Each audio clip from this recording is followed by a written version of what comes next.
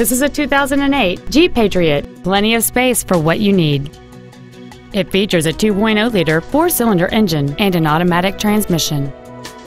Features include roof rails, a low-tire pressure indicator, cruise control, a CD player, an independent rear suspension, a stability control system, halogen headlights, an anti-lock braking system, air conditioning, and this vehicle has fewer than 75,000 miles on the odometer.